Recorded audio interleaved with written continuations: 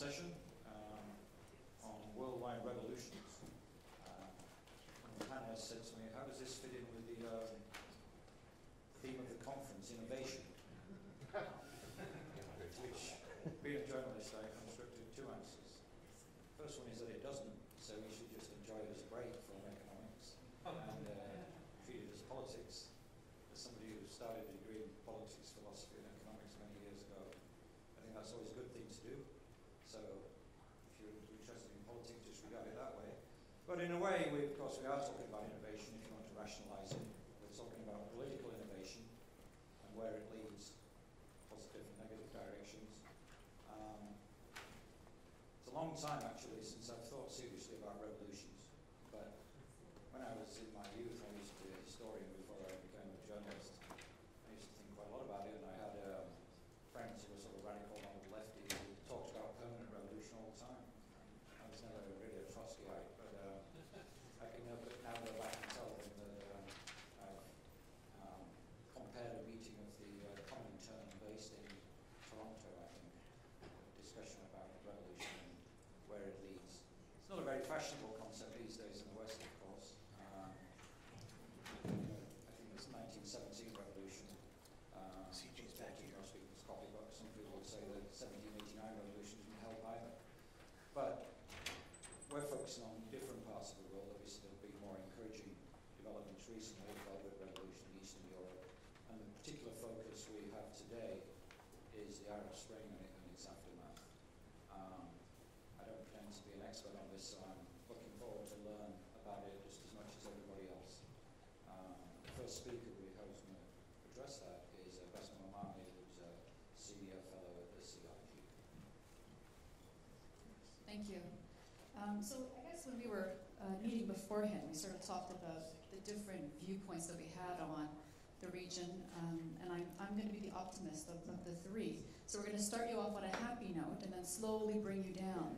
Um, that's the that's the plan of action. we switch it. It's innovative, new thinking approach is, is the motto of INET, so we're going to try it this way. Uh, I wanted to really get at some of what I think are the big questions that I hear about in terms of what are the Arab Spring and the Arab uprisings.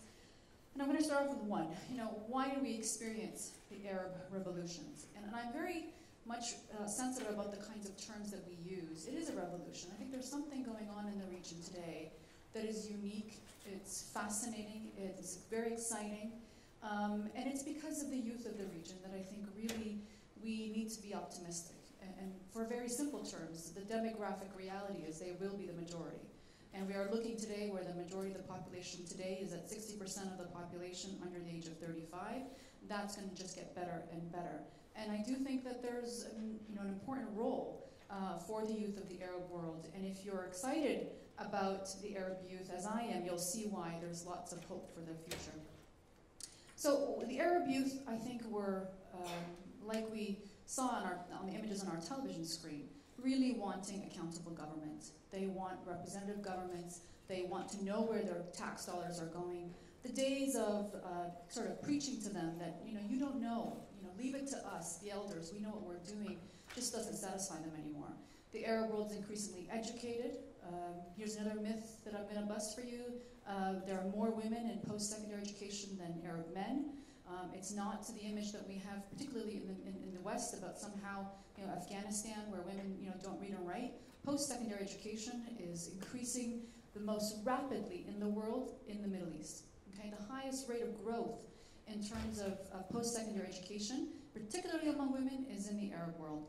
We also know that the Arab world is not only more increasingly educated, they're hyper-connected, and that is a really important part of it. And I don't want to re-emphasize this. You know, it's almost a cliche for those of us who study the Middle East to keep talking about the Twitter revolution, Facebook. It didn't start then. It started with Al Jazeera. It started with satellite television. It started with the whole opening of understanding what's happening out there.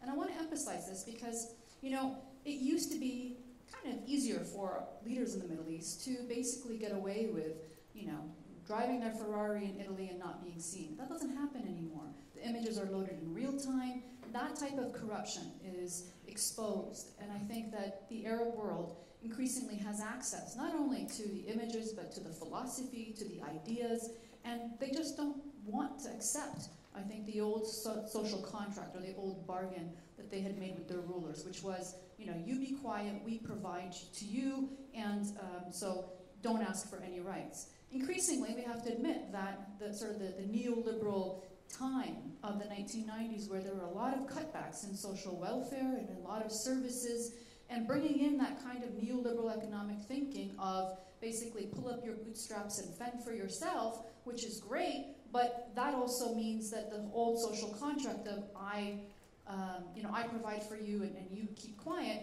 doesn't resonate anymore. And this is across the board. I think one of the things that we have as a myth as well is that somehow in the Gulf countries, which is the biggest sort of state welfare you could think of in terms of the oil sheikhdoms just doling out all these lovely gifts to its citizens, that somehow it's not affecting them. It's affecting them as well. Uh, you know, Saudi Arabia has a large population of poor people. Housing crisis in Saudi Arabia is on, on the rise.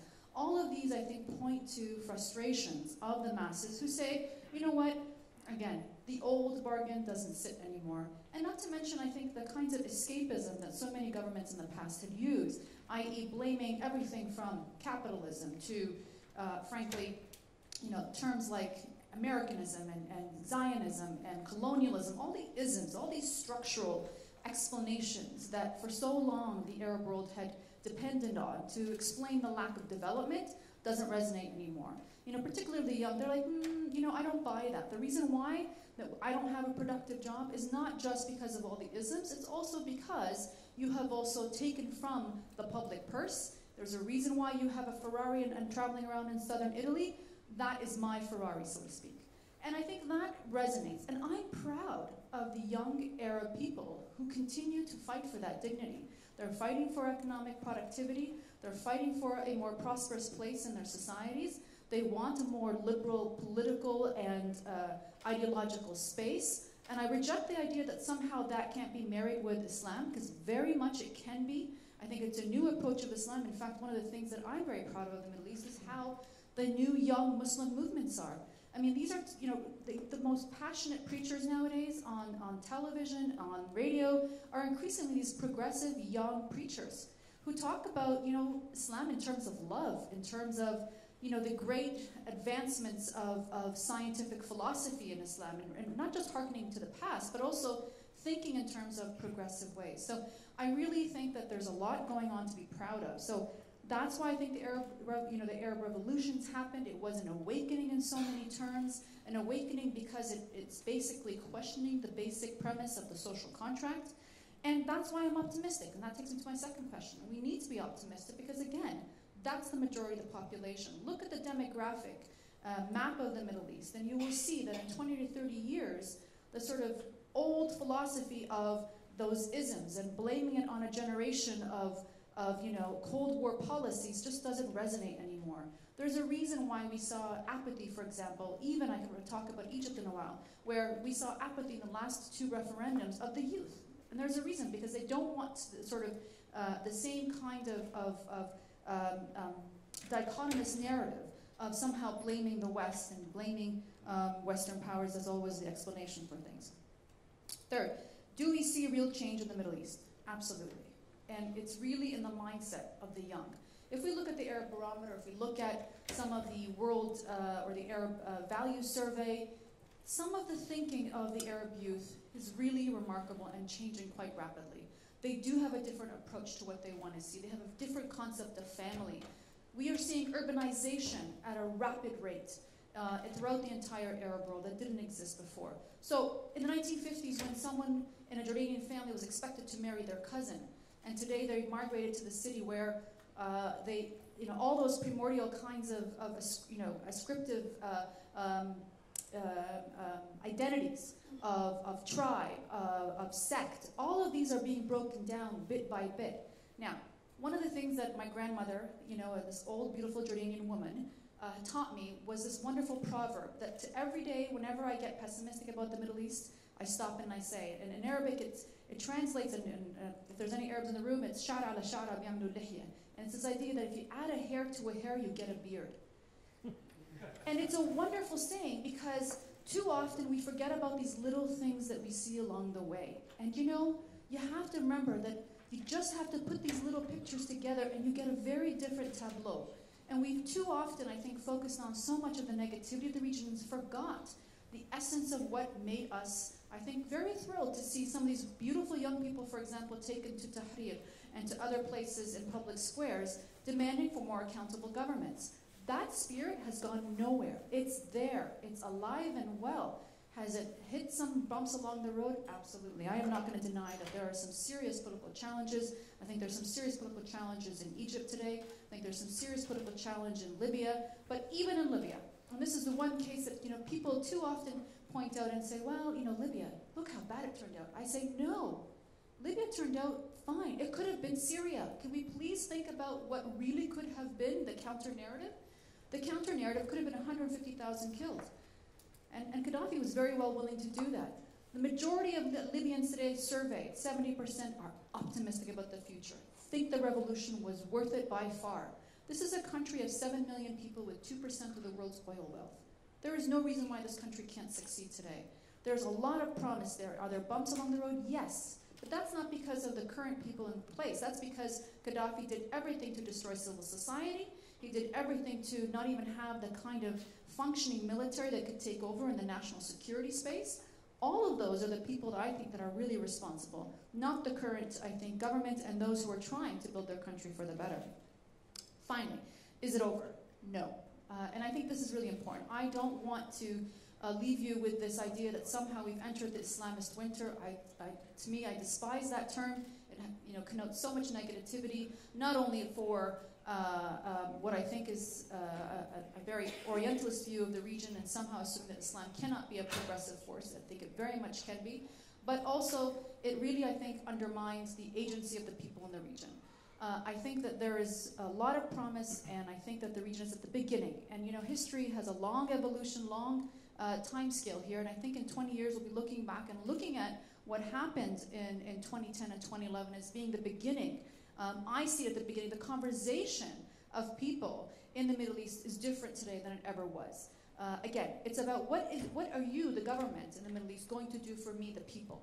That's the, that's the beginning of the conversation. People are no longer willing to accept that somehow they need to put their head down and just accept their lot. That is an awakening. That is a beautiful thing for the region, and I very much think it's a revolution. Thank you.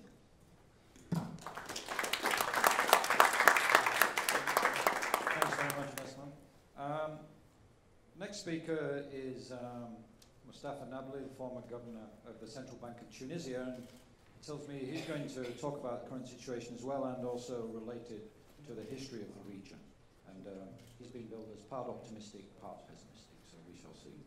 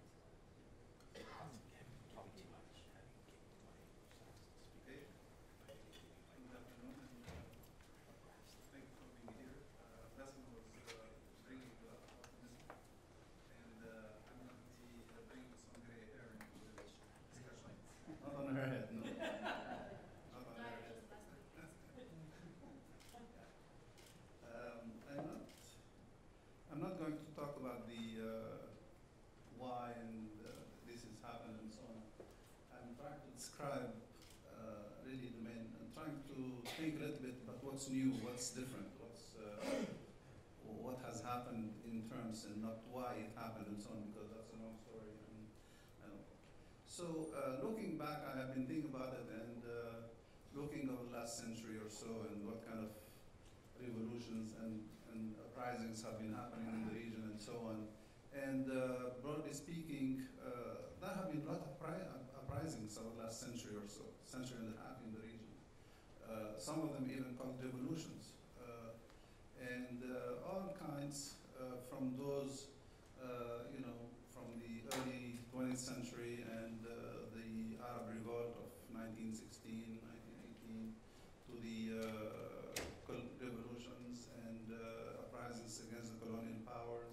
and the uh, uprisings against the governments over the last 50 years and so on. So lots of things have been happening.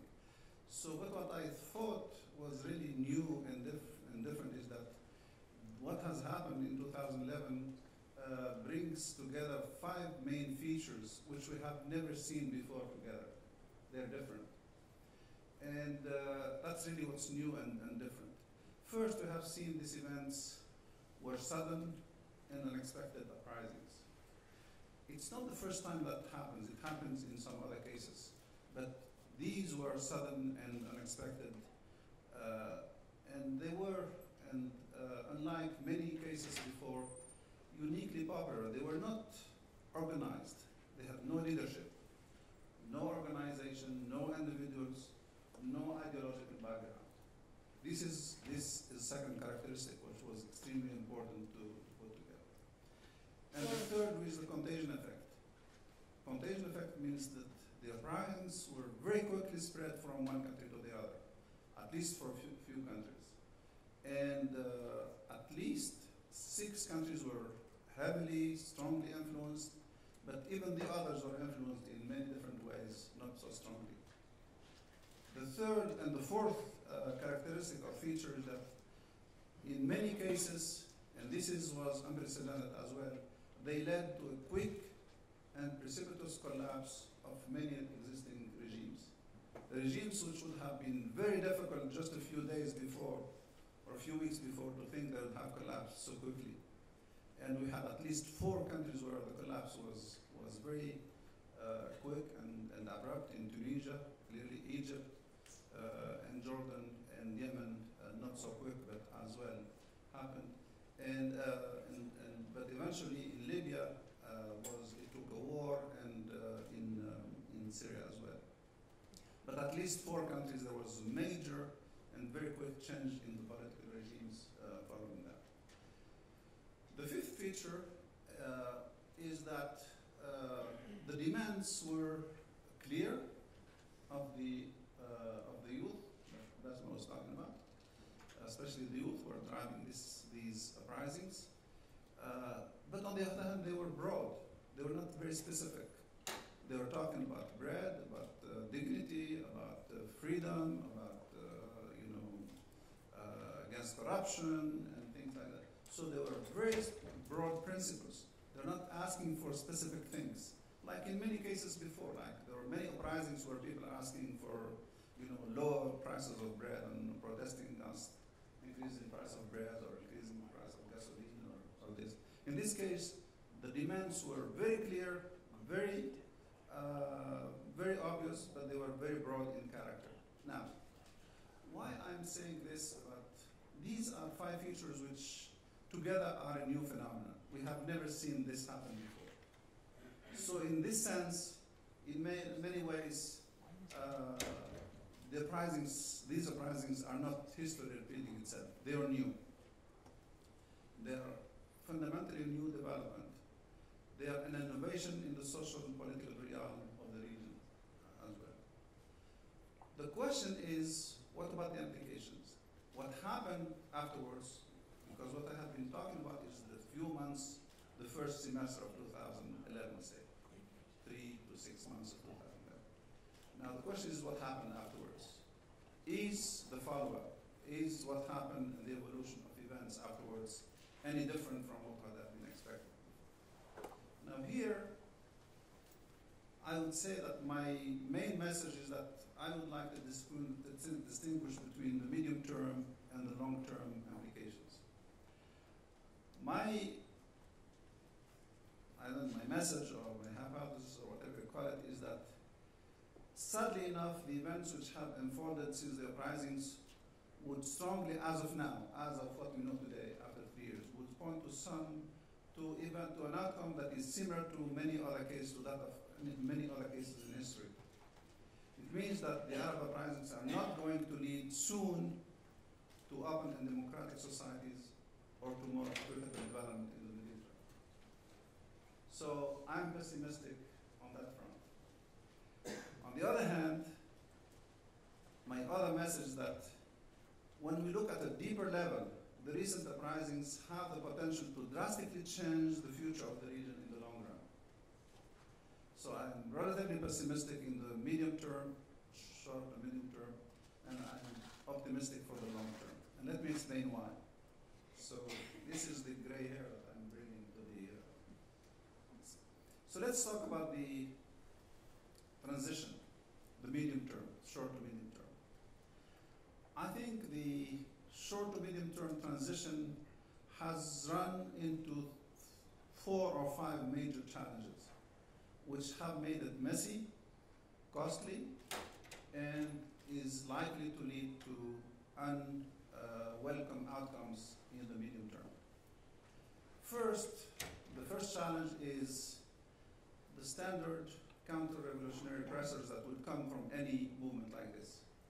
The, the groups that were benefiting from the old system were eventually are going to act and react and uh, will try either to slow down or to reverse the process.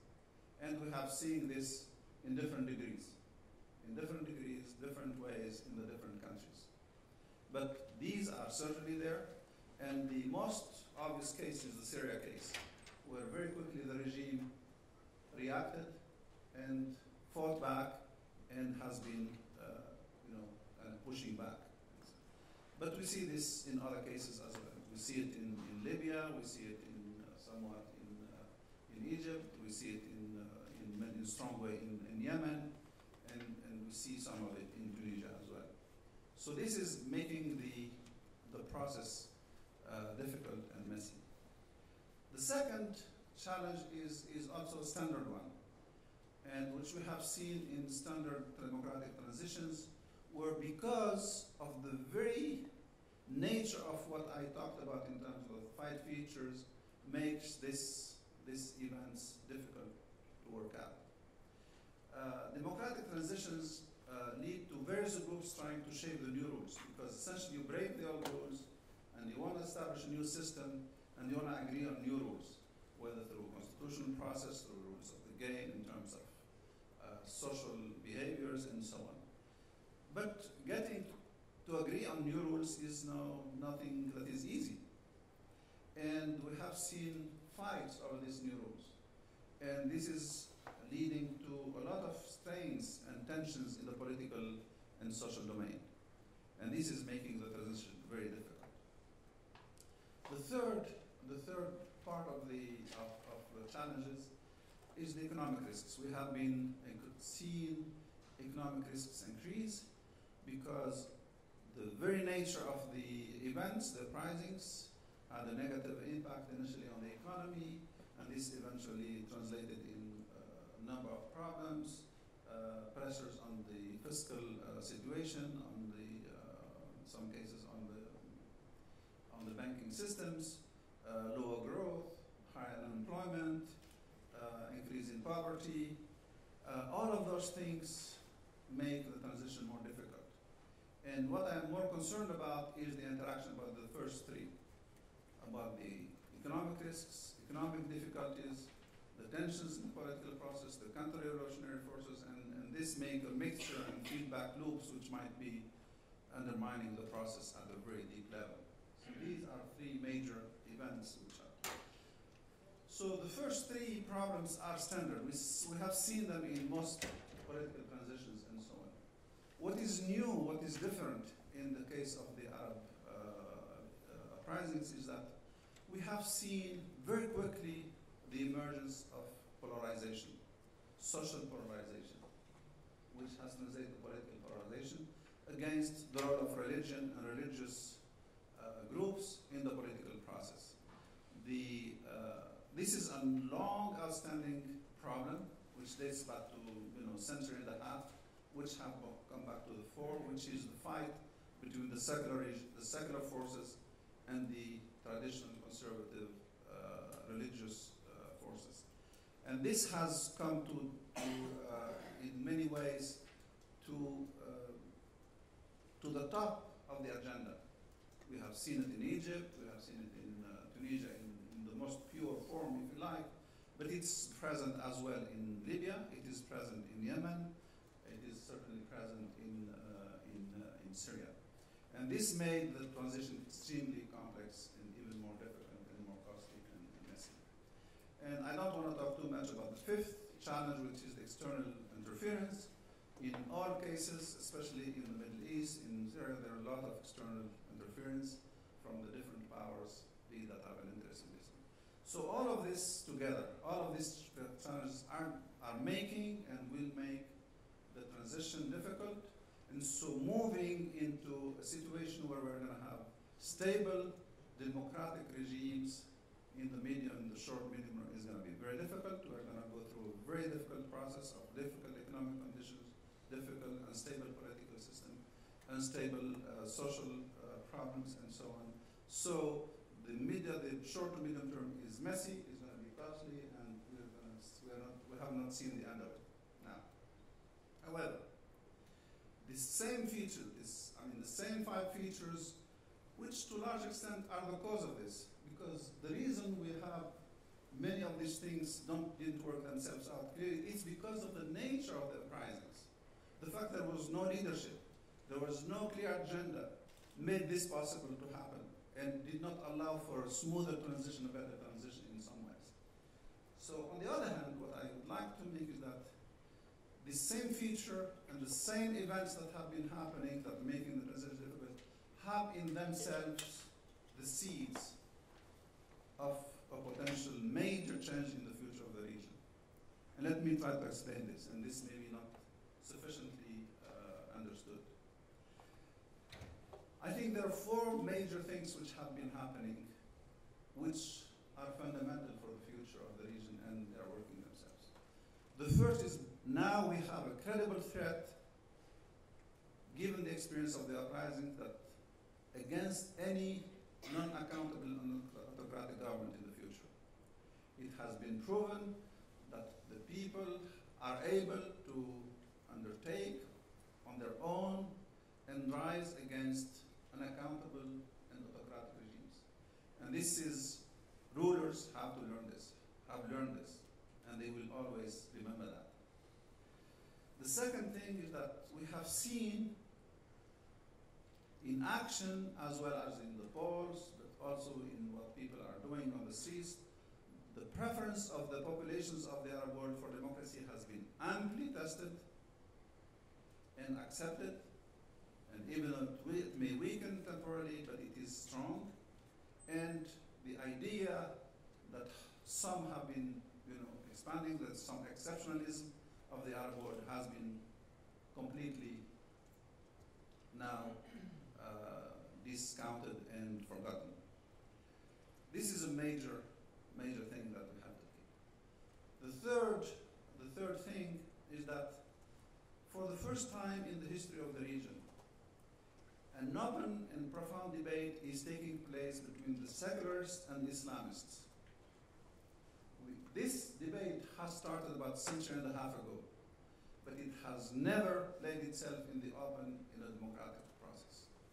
But it is taking place now, in different ways, sometimes messy ways, but this debate is taking place, and it has, this debate is really, for me, is at the source of the evolution, political evolution of the last century, and it has been driving that.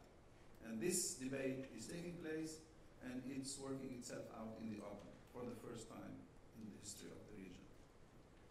The fourth event, which is least uh, fourth feature or the fourth, uh, the fourth um, component of the argument, is that the Islamist ideology, which has pretended all along for a century or so that it holds the solution for the region's problems, has had this time the opportunity to be tested on the ground. and it has been found wanting. It is not that it has not delivered. And this is going to push the Islamist politicians or Islamist groups to rethink their way of engaging society and engaging with the rest of society. And this is the basis for any future democratic process to take root in, in the region. So these four features or these four evolutions, if you like, are extremely important in terms of trying to uh, work out the uh, implications of what has been happening for the future. And therefore, my conclusion is that we are in for a rough ride. It's difficult, it's messy, it's going to be difficult over the coming period. We're to, it's not linear, but I think we are seeing the seeds a potential uh, rooting uh, and, uh, democracy rooting itself in the region in a profound way and the process working itself out in a positive way. Thank you. Thanks very much. Very interesting talk. Um, our final panelist is uh, Sandra Halperin, who's a professor of international relations at the University of London. And she tells me she's going to take the uh, big picture approach.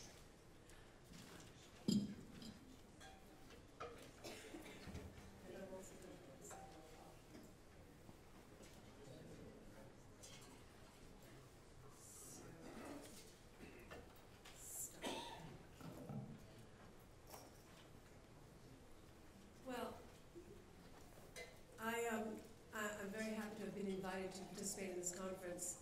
My uh, area of expertise is what might be described as uh, sociology of global development. So I feel um, somewhat like a fish out of water here. Uh, but that involves looking at the development of all regions in association with each other.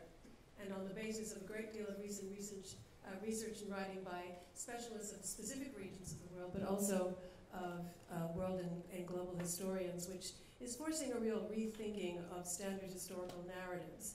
And in that way, perhaps uh, I can make a modest contribution to new economic thinking by um, confronting some of the profound myths that pass as historical, uh, uh, as a, the historical record on which much of current economic thinking, and particularly thinking about development, uh, is based. Um, so I want to um, uh, engage uh, with two elements of this panel. First of all, uh, with the program material that references um, the perhaps the fruitfulness of comparison between European revolutions and, and contemporary recent events in the contemporary Middle East, uh, which I'm, I'm happy to uh, reflect on in as much as the Middle East and Europe are the two regions of the world that have the most in common with each other, more than any, any other regions of the world. And that's unsurprising because much of what we think of as European uh, actually didn't originate in Europe at all, but came from the Middle East.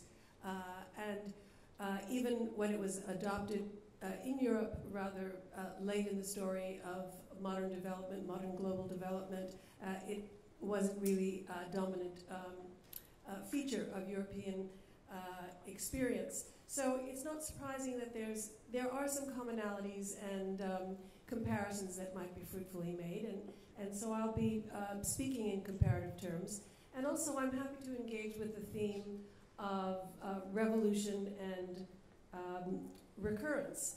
And certainly students of history are very often aware of um, the fact that things that have occurred in the past tend to recur. Uh, of course, technology, technological advance means that we're never in exactly the same world, but because there are sort of social logics, processes in social uh, life that recur, we're never an entirely different one. So um, I have to um, give this pitch to my students. I teach a year-long course on the Middle East, and um, I start back with Persian, Byzantium and the birth of Islam, which I see as the birth of modernity. Uh, and um, they have to spend a full uh, semester before we even reach the 20th century. But I'm not going to do that today, although um, I want to talk about um, recurrence uh, and repetition and revolution and I was looking for pictures uh, for a lecture on the Arab Spring, and I came across this, and um, it sort of rang a bell. It looked awfully familiar to me. And then I went uh, looking through my, my teaching files and found another uh, slide on a PowerPoint that I'd used earlier in the semester, um, and it looked like this. Um, maybe I can toggle that back and forth. You see, it's really quite eerily similar. Uh, no, I'm not getting it back and forth eerily similar to, um, in terms of substance and composition, even of course the military equipment uh, is the same. And this last one is uh, from 2011 in Egypt. And um, this other one, of course, uh, is 1952 in Egypt. and uh, I found it sort of startling, startlingly similar. You know, the same sort of, um, I mean, the lone um, uh, young person throwing something at that um, cordon of, of uh, public servants. and, um, but I, I, also found um, also found really poignant um, the caption, uh, uh, Al-Thawra al-Misriya Kadima, uh, the Egyptian revolution is coming. And poignant in terms of the decades that followed this revolution, the subsequent decades. And also poignant in, in terms of um, the hopes and expectations of uh, activists and observers of recent events in the region. And I think those hopes are really uh, linked to perhaps um, the hope that something's been set in motion that's going to lead to real, durable, transformative change. Uh, not just in terms of greater freedom, but in terms of a government that can bring about a really profound change in the circumstances of life for um, the masses.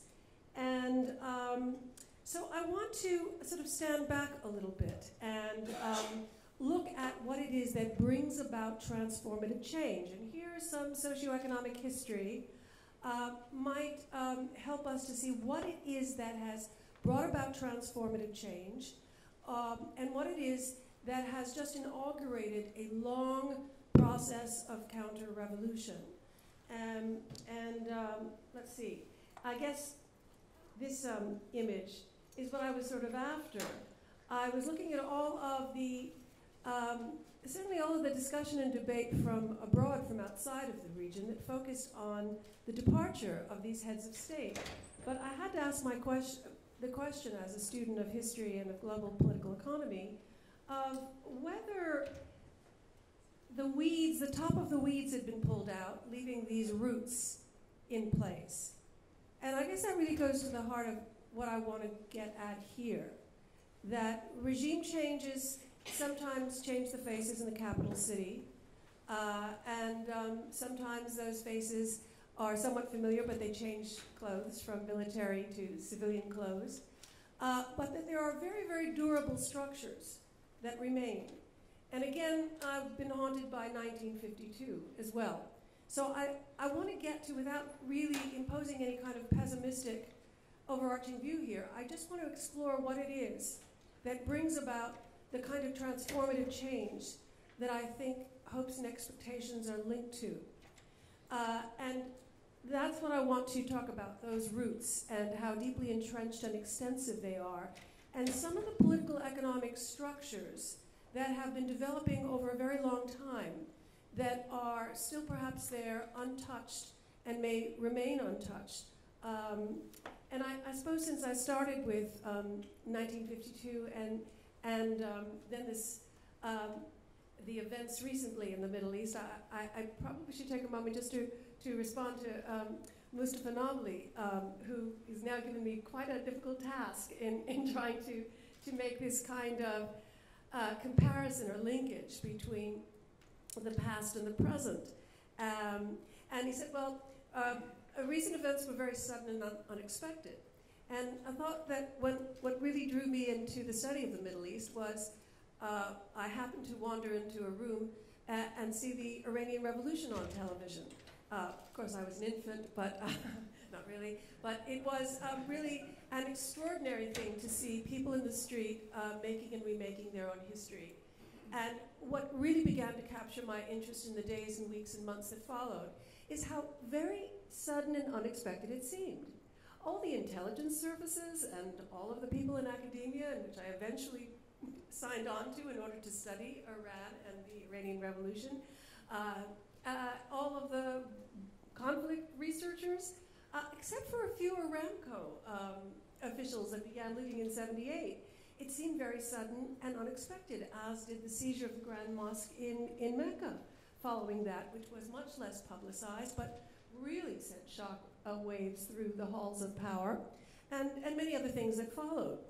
And then um, the, the, the notion that there's, um, that this was a popular um, uprising with no leaders, uh, I think that's really interesting, really interesting, because in 52, oh, those masses in the street, that, those a million of people in the streets of Cairo were very well organized. They were peasant associations and student associations and unions and the Communist Party and Socialist parties and syndicalist movements, et cetera, et cetera.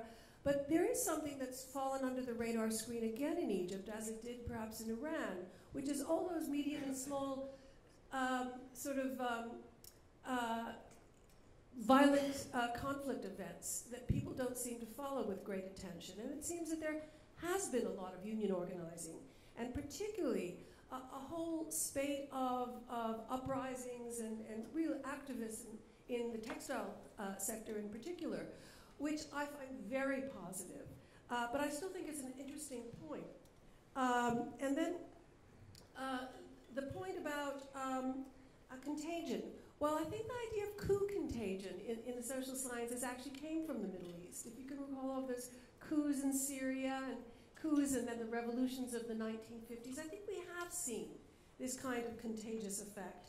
And then the, the quick collapse of regimes. Well, again, looking at this picture, these regimes have collapsed. But again, I'm asking about what are the roots of these people's power? And have these regime changes gotten to those roots? Um, and I think that the events in 1952 also were very broad social demands. This was that classic fusion, as in Europe and other regions, of nationalist demands, you know, Egypt for the Egyptians and the British out, but that totally merged with a sense that uh, British and Egyptian elites were part of uh, the same imperium, which I think was absolutely true, and that nationalism is often the banner under which uh, a social revolution uh, is, is uh, pursued. So, okay, I'll leave that behind for a moment and, and, and then say something um, about why I'm broadly concerned about whether what's happening in the region has gotten to these roots. And so I want to talk about um, worldwide revolutions, which is, is, is what we're, need, we're supposed to engage with here, or at least um, it, it challenges someone with my background to engage with it. And, I wanted to um, think of some kind of worldwide revolution and what it really represented, how, how it got inscribed in history, and how we invoke it today, and how we use it as a comparative focus for understanding the potentialities of revolutionary uprisings that we've seen, as for instance, recently in the Middle East. So I thought about a global revolution, which is, uh, as someone remarked uh, contemporaneously, uh, an event in the, in the human mind which was a global revolution, which we call the French Revolution, um, th that precipitated a global war uh, and really changed very little. Um, uh, obviously, there was a restoration in France, there was reaction almost everywhere else, and it set in train a century of counter revolution. Because though it changed very little, obviously the political structure of Europe changed, but not its social structure, which I think is part of the real story of the Middle East since the demise of the Ottoman Empire a change in political structure, uh, but structures consolidated under hundreds of years of Ottoman rule uh, were left undisturbed uh, in, in many crucial ways. But uh, what the French Revolution did was to inspire a deathly fear in what was an increasingly interconnected global elite, uh, a fear of revolution. And so there really was 100 years of revolution. And I wanted to say that the counter-revolution is what we uh, have wrongfully called uh, not a revolution at all, but the Industrial Revolution, a phrase that was retroactively applied to that time, and historians at the time um, um, objected strenuously that that was a, a profound misstatement and misrepresentation of what had happened. All the technology of the, of the Industrial Revolution really was associated with the 16th century. There was large-scale um, industrial uh, uh, mechanized manufacturing in Europe and Asia at the time. But what it was is something that will sound eerily familiar to you uh, as we're uh, exploring um, um, uh, revolution and recurrence. And that was a counter-revolution which involved an economic reorganization. That was the deregulation of markets and capital, the end of the national welfare systems and moral economies that had characterized uh, a number of countries in Europe and also elsewhere in Afro-Eurasia, the deindustrialization of rural areas and concentration of production in what today we call global cities and city regions. And what these policies together did was to enable Europeans to launch a brutal expansion of production for export that became a model for elites and ruling groups throughout the world. Uh, and the reason for this is something that elites expressed in a lot of literature at the time, and particularly the, the economics. Uh, the economists in their journalistic literature picked up this discourse, not only in Europe, but in Asia, about having to halt the democratization of consumption. And if elites were going to get wealthy by industrially producing goods and services, it better be for people who are not local, for settler communities elsewhere, for governments, ruling groups. Let it be railroads and armaments and telegraphs and docks, things that governments can, can buy. Okay.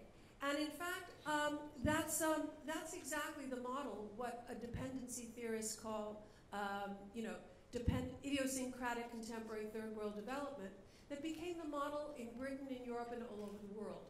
Uh, uh, uh, obviously, the City of London was like the advanced sector of a dependent third world economy, uh, building strong linkages between British export uh, industries and foreign economies rather than integrating the local economy. Uh, and consequ- consequently, on the eve of the World Wars, Britain was described as um, consisting of small islands of luxury and ostentation surrounded by a sea of mass poverty and misery. The upshot of all that is that developmental trajectories around the globe were very similar.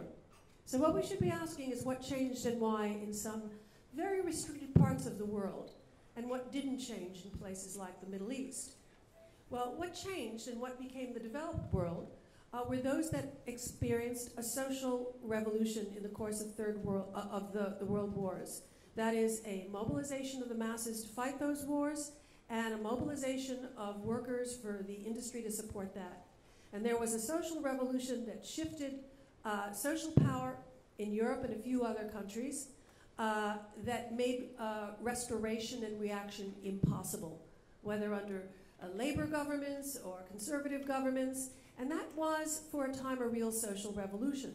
Social revolution was also engineered by the US in vulnerable East Asian countries, in which there was a radical transformation of, structure, of structures, radical agrarian reform, uh, legislation that um, governed investment by multinationals, et cetera, et cetera. But those measures were never promoted or advocated in any other part of the world other than those countries that were frontline countries in the geostrategic encirclement of the Soviet Union. Instead, uh, what was promoted and what has continued to be promoted today are policies that are just the opposite of what brought about phenomenal prosperity and a stable democracy in the so called developed world. Um, first of all, there was the Cold War that eradicated all those forces uh, in the Middle East that in other regions were at the vanguard of movements for broad based development uh, and democratization, not only communists and socialists, but any group, center or slightly right of, uh, right of center, that called for land reform or the sorts of reforms that we associate with broad based dynamic development and greater freedoms. Uh, and then when we look at all the sorts of things that the world wars inaugurated in the so called developed world, um, the growth of the power of working classes relative to that of other classes, relatively more nationally embedded uh, capital, the developing development of purchasing power among a mass domestic citizen workforce that makes possible uh, new mass consumer goods industries and the extension and integration of domestic markets, policies desi- designed to increase domestic investment, a more equitable distribution of income, welfare policies that had been dismantled in Europe in the 18th in the 19th century and then resumed after 1945. None of these features uh, are prominent in the vast literature devoted to development and the requisites of democracy nor are the outcomes envisioned by the initiatives promoted by Western governments, NGOs, and international organizations. So, okay, something can change, right? We're all moving now to a global developed world? But no, uh, I think not. Um, I think that uh, starting in the 70s, uh, that part of the world that we call the developed world began to roll back the changes that had been put in place after World War II, the Second World as well, so that rather the, then the third world becoming more integrated to a global first world. We're seeing just the opposite. We're seeing the developed world, both the first and second world, sort of rolling back and assuming the same structures that before the world wars were part of the historical normal pattern of capitalist development. So that I think as time goes by, we are going to see the 1950s and 1960s as a kind of brief interregnum, two or three decades in which social revolutionary changes in a few areas of the world tied capital to the expansion and integration of national markets um, and suspended the operation of historically normal patterns of capitalist social reproduction. And so um, this is a broad picture that leads me to, if not be pessimistic, uh, to be a little bit more uh, cautionary um, than my fellow panelists. Thank you very much. Um, okay, so thanks to an accident of history, one of the panelists didn't turn up. We've actually got quite a lot of time for discussion, um, which is good. Um, try and get some audience interaction. I'll just start it off with a couple of questions to the panel, but please try and come up with some questions. And um, after I've uh, after we do, a, I'll do a couple and then hand it over to you guys. First of all, let me just play devil's advocate here. I mean, Sandra says she was pessimistic. If, if I was going to be a pessimist, I'd say, the Arab Spring was great, but maybe it is the Arab winter. Let's just go through the countries. Egypt looks like we're going to have a plebiscitary dictatorship after another couple of weeks. Syria, we've got a civil war with the um, existing regime basically cracking heads and winning, it looks like. Yemen, we've got a regime which is also still pretty oppressive, propped up by the Americans with drones, etc. Iraq, we've got a sectarian sort of um, democracy, which isn't anything like what we, we hoped we'd see five years ago. Um, I understand there's more, you know, there are some more hopeful signs, but they're the big countries. What, what is left of the Arab Spring? So, I, I'm not disputing all of, of the challenges that exist, and I'm not saying that there aren't enormous amount of work to be done. But let me give you the one country that, you know, if there's in need of a cultural revolution like any other is Saudi Arabia. I mean, Saudi Arabia is the outlier in the entire Middle East in the sense that it is it's draconian, it's, it lives in medieval times, um, there's a lot to be done. What does it mean when we have thousands and thousands of Saudi students sent to the West to study and are going back in droves to their home country? That's a phenomenon. That's one of the little hairs I'm talking about. That, that is going to shake up the ruling family more so than the end of oil you have the masses of students we have in, in Canada alone, something in the order of 20 to 20,000 students, I heard at one point, that have graduated from this country. Similar in the United States, in all fields, are going back to their country and saying, wait a minute, I have the, the requisite knowledge, I have the, the pedigree. You know, you can't tell me that you, maybe uh, in, in the 70s it was you know, exclusive to one, to one group and one family that went to elite universities. That's no more. That is a social revolution awaiting. And that's one of the biggest countries I think that needs enormous amount of reform. And I am seeing that today questioning Saudi men. You know, I mean, if anybody's been watching the Twitter sphere, you know, Saudi men making YouTube videos, songs, saying, I want my wife to drive. This is, my point is, this is, a, this is something that we can't ignore it and say, okay, but you know, there's a bunch of geriatrics in power in Saudi Arabia. Yes, there are. There are geriatrics in power, and power, and yes, that needs to change. But something is happening at the base that we're not, we cannot ignore, because then we'll have exactly what Sandra pointed out. One day we all wake up and say, wait, nothing, where did that happen? It's happening now. The revolution is happening throughout the entire Middle East. And I think that if you look and see the stories of all of these vignettes of different people in the region, you wouldn't be as pessimistic. And, and I'm not by any means, I mean, for all of those Saudis who have to live under this repressive autocratic regime, you know, kudos to them, but they are literally taking up the challenge every day to go on Twitter, to go online, to challenge themselves. Getting in their cars the other day, there was a, about a week ago, women got into their cars and, and, and against defiance of the of the ban against women's driving, which is again archaic.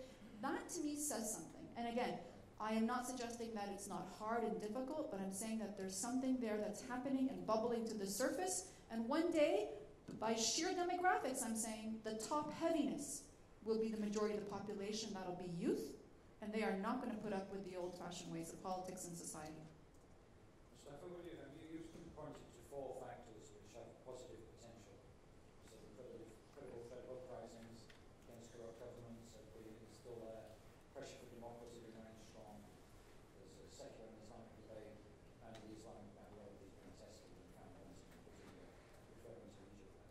Um, you know, just looking at the headlines and the pictures we see, it's, it seems very pessimistic, not just a bit pessimistic. Could you um, perhaps and give us a bit of the Tunisian perspective, because obviously Tunisia is one of the hopeful places. Well, I, I tried exactly to deal with that uh, kind of contradiction. Seems when you look at the news today, when you look at how things are happening, you cannot be optimistic. And there is something to it.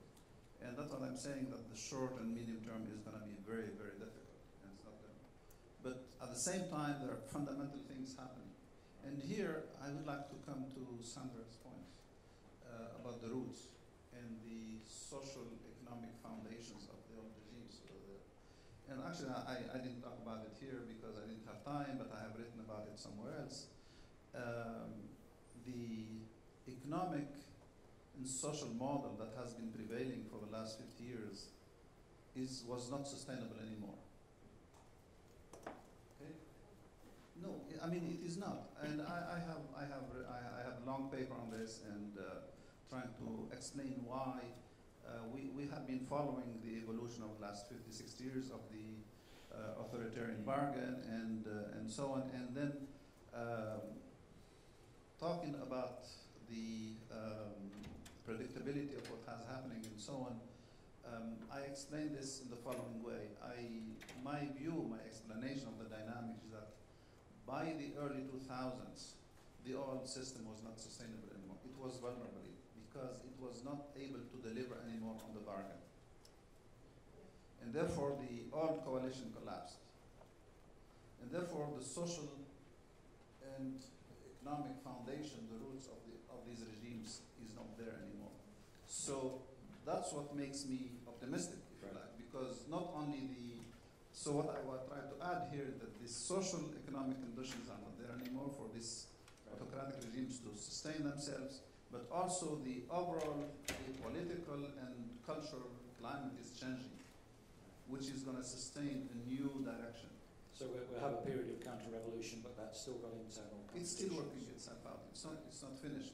Now, a final comment on, on Sandra, and, and um, my, maybe I didn't explain it. When I talked about the five features, the first time we see them together in this combination, we have seen any one of them at different points in time.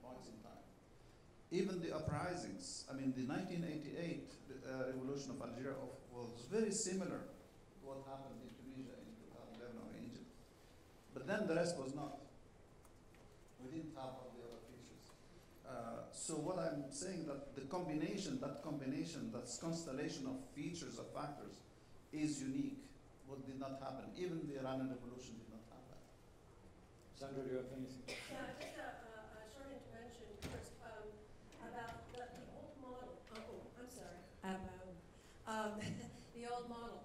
Um, I think what I've been referencing, and, and you'll have to correct me because um, it is that um, the model that seems to be historically normal is what we call neoliberalism uh, today, and that's back with a vengeance. And not only through structural adjustment, but post-conflict reconstructions. Um, post-tsunami and disaster reconstructions, uh, democratization, good governance initiatives. Uh, it, they're all the same prescription. And um, they're very aggressively being promoted.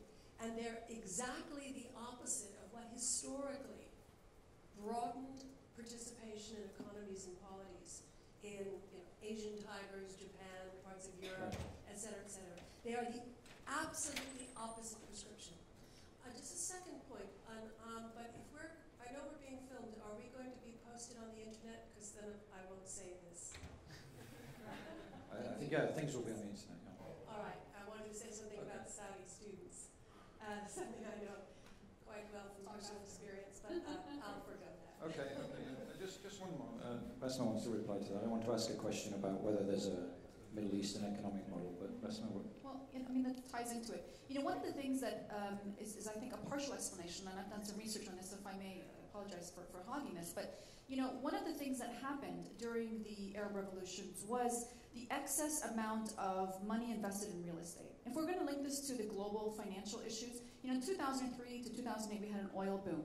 And that meant, you know, we saw oil prices go all the way up to $140 a barrel. Now, a lot of that money, capital surplus, particularly from the oil rich countries, found its way into neighboring Middle East countries. And what did they want to build? They built towers, they built malls, they built uh, uh, resort villages, they built um, amusement parks. Literally, this was their top priority. And, and the reason why, I mean, as investors, they know how to build towers. It's a Dubai model. I mean, that's what they do. But actually, what it did in the Arab world was create, in fact, more social problems. Because now what you have are malls with young people who we already said are educated, unemployed, know what Gucci and what these brands are, and are walking around. I mean, you can go to Egypt City Stars, you can go to Mecca Mall in, in, in Amman, you can go to Al Solidere in, in, in Lebanon, and they are these wonderful marvels of modernization. They're beautiful, they're spectacular. But when the people in the majority of the population can't enjoy them, you create problems. And you create problems because people themselves are being told that, look, we're modernizing. So you had Suzanne Mubarak talk about these modernizations in terms of these towers, and you had people toting around these great you know, in investments into malls as somehow that's development. That's not development. That does not create jobs. And unfortunately, if we're talking about where the economic model and new thinking had to be, what we needed was responsible governments in the Arab world at that time who, when an investor came and saw something, they had to ask the question, how many jobs will I get out of that? We didn't have that, unfortunately. It was like, wow, I'm going to have a bigger tower than Dubai. Bring it on.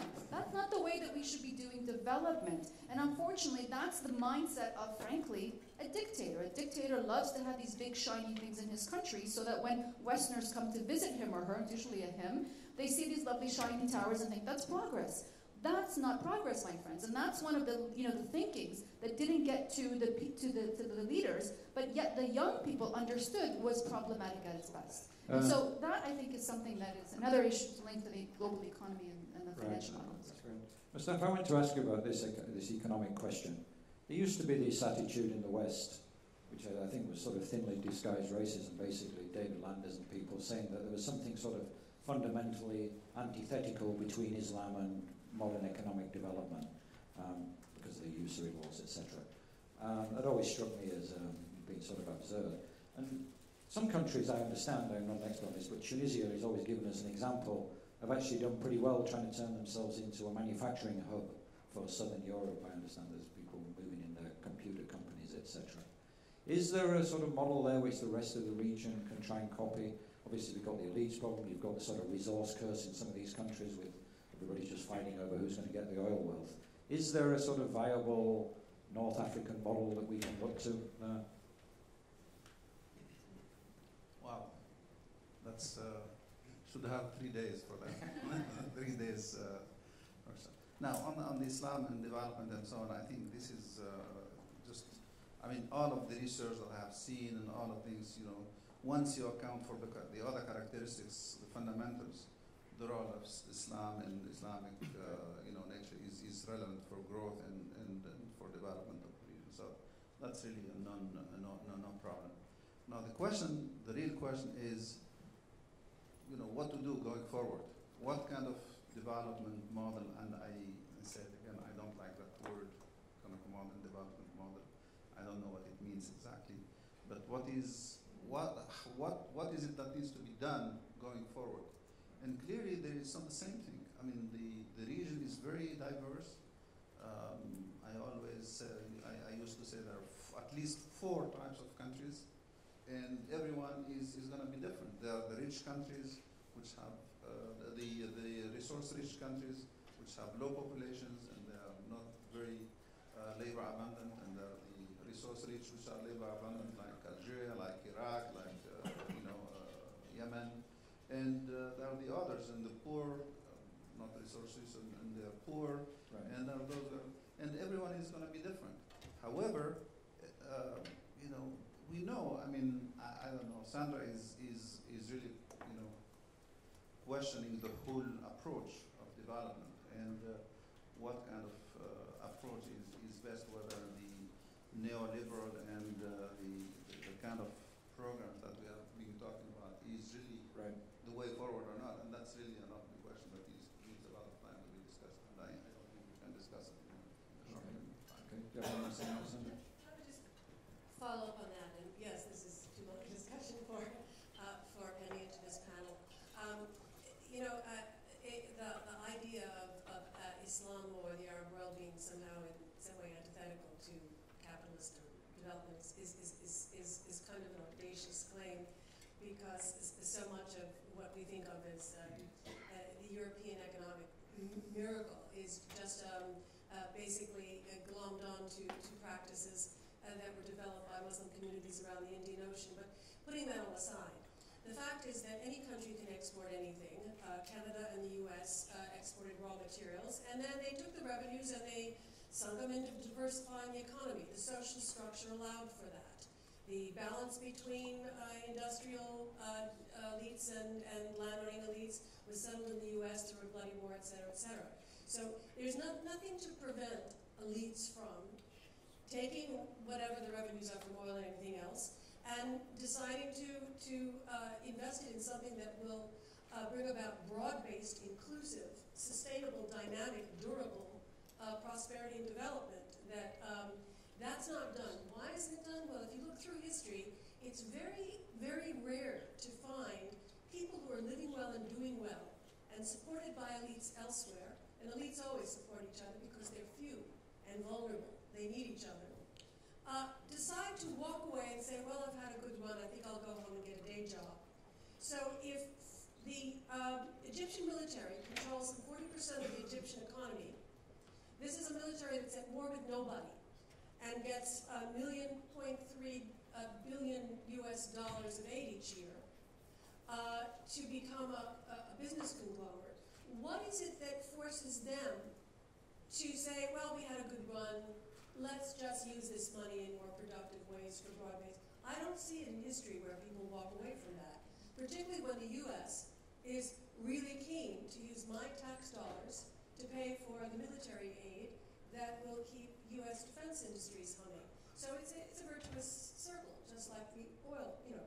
So it's, again, the roots are very extensive. It goes into the global economy, and it impacts many other economies that have no real interest in promoting real dynamic, inclusive growth, real democracy. Okay, thanks very much. I'm going to turn over to the audience and chat there. Can you, yeah. Yeah, so I, Can you just stand up and identify yourself and, uh, yeah, so my name is Steve Wasilewski. I'd like to talk a little bit more about Saudi Arabia. So there, there wasn't a revolutionary because the regime just pumped billions of dollars back in the welfare payments uh, uh, to the society and was able to buy it, buy itself off. And is totally dependent on oil being well above eighty dollars uh, a barrel. Uh, but you also have an economy where it, uh, which is based on immigrants or actually guests uh, workers there, so nobody there, uh, no, no Saudis really works. Uh, this, that is, of course, unstable. Uh, it's going to come to an end. Uh, and the only question is, is when. Okay, that's not very optimistic. Um, anybody else? Chat next to that. Um, Ryan Hudson. I, I was just wondering, I mean, this is where Sandra is going, but are we characterizing, or maybe not us, but the popular media is characterizing this in a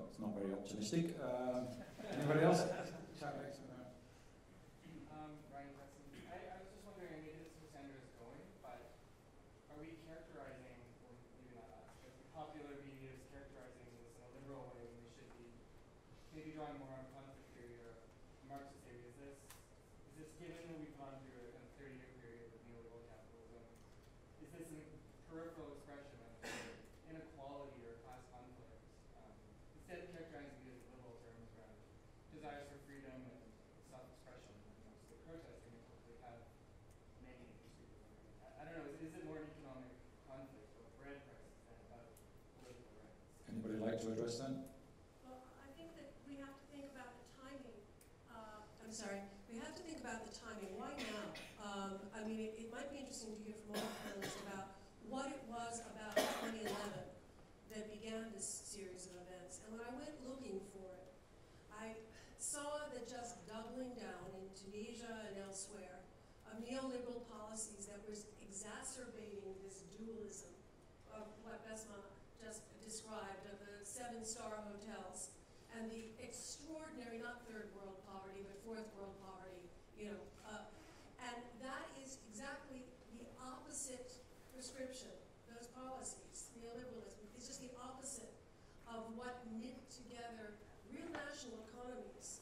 Um, so I think it was, the, um, and, and maybe Mustapha has a different view of this, but I think. Certainly. Um, I should turn, turn over the stage to you. No, I mean, 2000, why 2011? I mean, it's certainly not because there is any change in the uh, dominant policies, whether it's neoliberal. There's nothing. I mean, the policies in Tunisia, broadly speaking, they have not changed for the, you know, last 20 or 30 years. So it's not, not nothing different. However, what's, and, and I, I have written, my explanation is that what happened, the triggers that made it happen are two or three very specific ones. One is the unemployment of university graduates. That has been, over the last 10 years, before 2011, multiplication by six of the unemployment rates of university graduates. Now, we have to talk about why this is so and, and, and so on. It's not really it's whether it is due to these policies or not, and what are the uh, education policies and, and so on. So that's one. The second is the huge, dramatic increase in corruption, visible corruption. Well, so it's not, no, I don't think so. It's not like it's the way the power was captured by this small elite, the family groups, and so on, which was against actually, it's worse than crony capitalism. And it's not neoliberal, I, I think it's anti neoliberalism. Actually, it was pred- predation against the capitalist system. So, so it is, that's the major second you know, event that, third, the third feature is the increasing, is, and, and I think that's common between Egypt and it's the succession problem. It's the political succession problem, which is really what's coming to a head. Tunisia, it's not only in, in Egypt. It was in Tunisia. It was in Egypt. It was in, in Libya. It was where is what? How is the succession going to be taking place, and who is going to succeed? These it's these things which came together. Thank you, uh, man at back. Uh, Gorsi from Montreal. Uh, as you were talking about the seven star hotels and the Dubai model of capitalism, it brought to mind an image uh, that I saw a few months ago of the the house in Mumbai built by Anil Ambani, which is a 27 story billion dollar house. Can you speak up or use a microphone? take a microphone, please.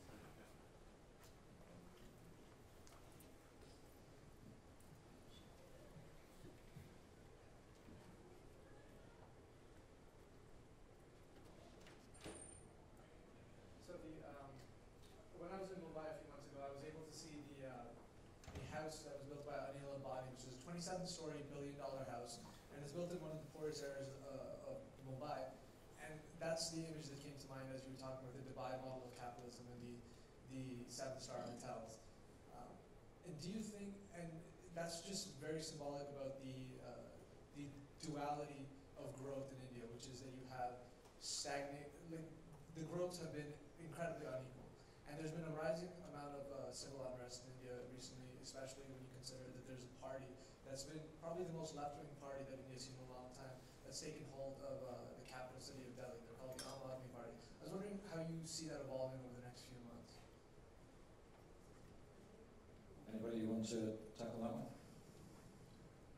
Um, Well, uh, uh, I mean, I- actually, I mean, I think Bessma has written about, you know, how the IMF is trying to, uh, you know, uh, filter in some concerns about uh, inequality and all of that. But uh, what you describe and what's being described by, by, by and everyone, um, uh, many of you, is- is this, you know, what, what dependency theory is called dualism.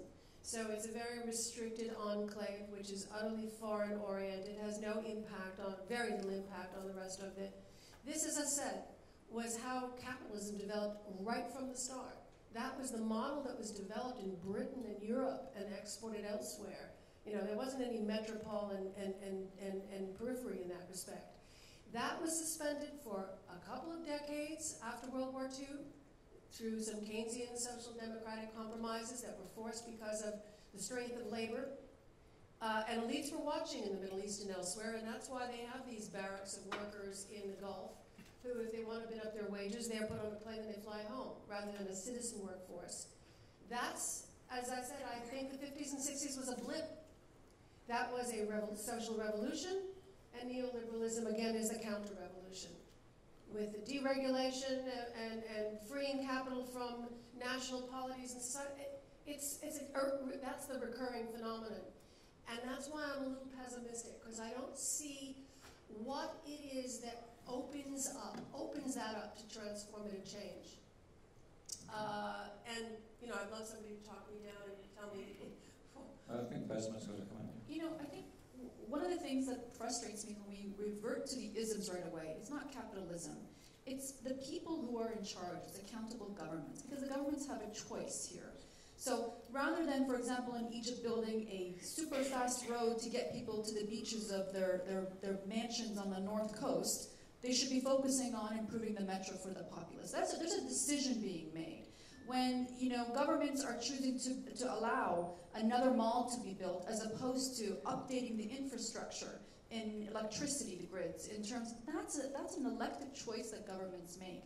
My point is that governments who are not accountable to the people who frankly don't care because they assume that they have this God-given right to be in power don't question whether or not this is going to create jobs. And what we need are governments in the Middle East to take every part project that comes into the country and ask the one, the one question should be, does this create jobs? Is this inclusive growth? And unfortunately, I think for too long, many governments of the region just resonated to say, well, I'm going to build what I want. And that often was very much right to the top. We had a lot of micromanaging at the very elite level where people wanted to create these really, what they, I think, are false symbols of modernization, shiny and new, but didn't necessarily feed the people. And I think there's a lot of ideas out there on what needs to be done. So there's no shortage. It's a matter of commitment. It's a matter of do they feel responsible and accountable to their people. And I have to say, I'm not suggesting that the revolutions by any means were about democracy, because that wasn't about, that's a very liberal connotation that we brought to the game. But I do believe that truly democratic countries do in fact have a higher ability to be responsible about the public purse. And so I think there is need and room for democracy in many of these countries. So active participation would be the primary re- recourse for change. I mean, public participation in economic development, if, if that's what you're saying, absolutely. But I think also we need to also change the, um, I mean, in some way the popular pressure has meant that they, if they want to be there for the next, you know, how many years they think their role gives them, they need to start thinking about jobs. They need to start providing jobs for the people because I think that's in the essence what people want. It's productive economic work and increasingly meritocracy because they are educated and they're not going to accept, you know, underemployment, which is a real prevalent problem in the region as well. Uh, chap in the side there, yeah? Okay, thank you very much. I really enjoyed the, the panel very much. Thank you. Uh, my it's comments and questions, but because you give either pessimistic or optimistic, but actually this uh, show the difficult to imagine a real future because uh, if you put the uh, the revolutions in Middle East together with the occupation of Wall Street, or the recent occupation movements in Taiwan, the occupation of the parliament, even the state council, which means that different sectors, that the capital size, and the form of democracy, political parties are all in a very it's a target against, right? We are we are not so in that sense we use repeatedly that democracy. However, that the target itself became more and more ambiguous. What kind of the democracy we need to imagine for the future? That I think uh, back to the moment itself that will create the difficulty that the uh, from the mobilization to the politicization because even in the uh, long transition that the mass mobilization was very difficult to sustain to a certain extent to politicize itself. So that's why after the mobilization after the down of dictatorships all the players in the political uh, the, the fields were all the actors sounds like a repetition that uh, so in that sense we need to rethink maybe uh, what's the repetition in the revolution and what's the revolution in repetition. I think that the, you are uh, revealed clearly what's what's what's new in that, uh, but that was still ambiguous. It's not. I think that not only the moment itself, but the uh, limits of our imagination about the future. Uh, certainly, we are re- reconsideration and the moment itself. It's need a kind of the more let's say that the kind of the interaction between these two fronts to generate the new thinking. This is the, uh, the question. So how can we have a kind of the long transition through this mobilization to the new politics? Thanks very much. Uh, let's get another question with that one as well. Yeah, jump over here. Uh, uh, listening to your comparison, let's say, between the 1950s or post-war to Europe and, and current, uh, you know, the situation, I was thinking, okay, that uh, in uh, post-war war to Europe, uh, well, people managed to find a new social contract, a political consensus quite soon, quite fast after, after the war, right? I think that's a big, that's a big difference. Uh, maybe the society was more united, but then I reminded myself that in those days there was a major divide between say, community in most, uh, in large part of Europe and, and Western Europe, France, Italy, etc., between communism and more conservative forces. And I guess maybe there's a relatively similar situation, comparable situation in the Middle East between let's say secular and Islamist, uh, let's say, uh, pole poles. So I was wondering if still think of what could be the elements of a, of, the, of the social contract or of the political consensus similar to the one that emerged in Europe in the 1950s in, let's say, the situation nowadays in the Middle East. Okay, I think there's sort of parallel questions really. How do we, everybody agrees it's going to be a long, problematic process. How do we keep the long transition going? And is there a sort of social contract that can be constructed there which will sort of underpin democracy or whatever direction we want to go? Anybody? I think uh, th- this is really the, uh, the, basic uh, the basic question, and um, it, it what goes at the heart of the issue is the follow up. In my in my understanding, in my understanding of what's happening, uh, there are two kind of tensions or two struggles going on at two different levels, and one is that the political, societal level, ideological level, which is the secular Islamist struggle. And the one, the other one is at the economic level, at the economic level in terms which groups are benefiting or will benefit and what kind of new organization of the economy which will move us forward. And now these two struggles are not really are not interacting well. They are they are kind of being played at two different levels and they're not connected in, in a clear way. And my my feeling is that really and what I was trying to suggest is that once this secular Islamist you know struggle is gonna take you know the the outside unuseful part of it, it's gonna be worked out within the economic sphere and what are the social groups which are going to be supporting which political group for democracy to take root and for the political debate to take place. And this is going to take time, some time to work itself out. And, uh, and I, I would like to make a comment on, on, on, Sandra. And my belief is that really it's not neoliberal against other, you know, choices.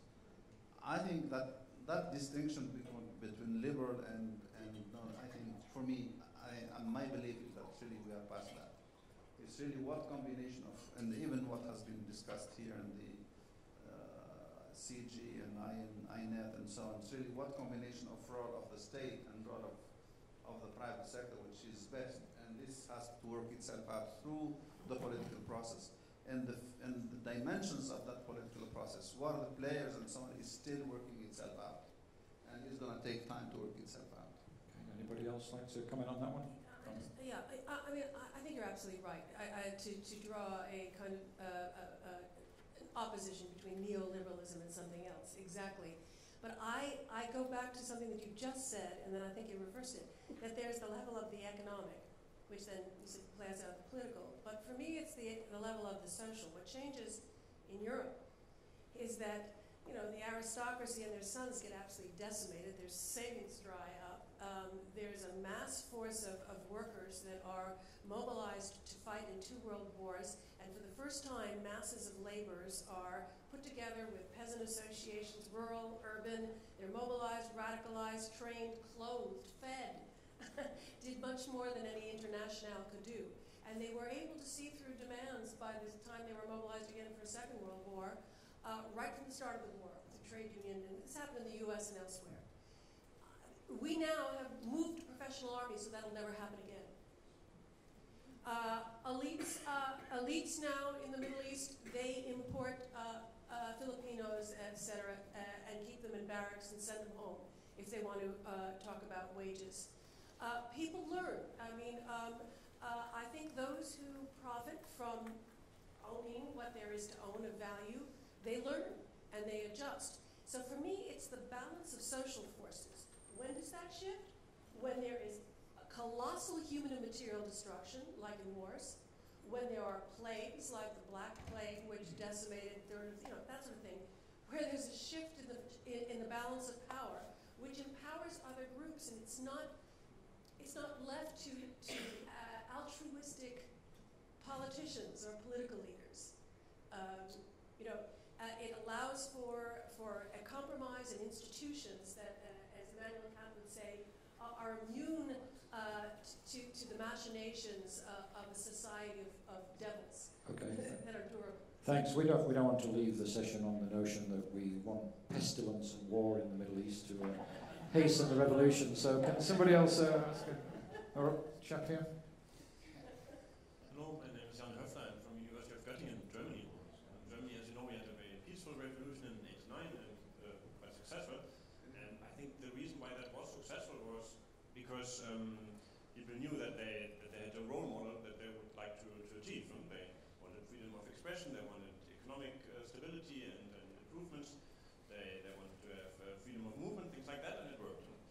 And um, I think at the moment is we, we are putting this at risk in, in the Arab countries. That's at least what I would uh, believe, and what I also see from, from Arab population in Germany is that they become critical of, of the Western world because they see, for example, that there was this war of aggression in Iraq. Uh, the U.S. media completely failed in reporting critically about the government. Uh, um, there, there was uh, torture. There, there is a camp in, in uh, Guantanamo that is completely illegal. Um, there, there are people killed by drones without any trial. Um, aren't we risking to give away our moral um, uh, role model? Um, anyone to? I mean, is the lack of a Western model which people... I mean, that presumes, of course, that the um, people on the streets are trying to copy the West, which may be a bit of a um, problematic idea, but anyway, how much impact has the sort of uh, legacy of the, the wars and the drones and etc. had, do you think? We should probably touch on it before we leave, finish. Look, it matters, uh, without a doubt. I mean, it's not, we can't ignore it. Um, the Middle East, too often they've seen themselves as pawns in somehow a bigger, a bigger game. Um, so that, without a doubt, is, an important issue. But I, I guess my point is, and I really hope that this comes out, is that the people today are not just referring to these big structural phenomena. It's not to say they don't matter. It's not to say that it doesn't have an impact. Increasingly, the blame is localized. It's being localized to the leaders. And for me personally, that's refreshing. Because I think when you have a blame that's uploaded to this very abstract isms, okay, Westernism, Americanism, I mean, you don't, you can't do anything about it. Those are big, you know, huge um, megastructures. But the reality is, so much of the problem and the accountability is in the hands of the leaders at the local level. And by that I mean the governments, the national governments. And that, to me, the Arab Spring has been, I think, an important aspect of the awakening to bring down, to downgrade, if you will, responsibility onto those who really do matter. At the end of the day, decide that I don't want to build a factory, I want to build a mall. That's not Americanism, and I don't want to blame neoliberalism. At the end of the day, you have an opportunity to make a decision. Leaders have an opportunity to make a decision about what kind of productive society they want to create. And too often, I think we've used some of these structural explanations as a scapegoat. Okay, I think that's a good note to end on. At least two of our three panel- panelists are ultimately optimistic. So let's end on that optimistic note and uh, thank them for a very interesting discussion.